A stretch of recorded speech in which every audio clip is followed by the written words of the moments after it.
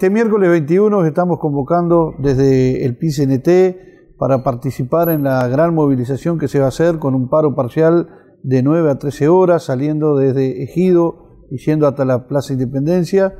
por una plataforma que involucra tanto a los trabajadores del sector público como del sector privado. Allí estaremos reivindicando todos los temas vinculados a esta rendición de cuenta, una rendición de cuenta bastante particular donde no solo los trabajadores del sector público estamos involucrados por nuestros aspectos salariales, sino también el conjunto de la sociedad, porque allí se necesita de los recursos para una mejor salud, para más vivienda, para el Sistema Nacional de Cuidado y fundamentalmente para llegar a ese 6% de la educación que tanto se nombra pero que poco se concreta.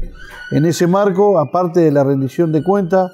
va a estar también los aspectos vinculados a la negociación colectiva en el sector público como en el sector privado, donde defendemos la ley que establece la negociación en cualquiera de los dos sectores, pero estamos teniendo dificultades, por un lado, en el sector privado por el embate que hacen las cámaras empresariales,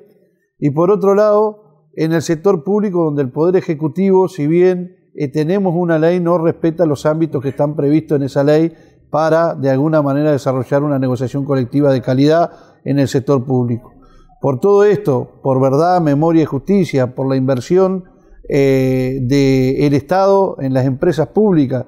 por todo lo que tiene que ver con aquellos aspectos que hacen a las reivindicaciones particulares de cada uno de los sindicatos,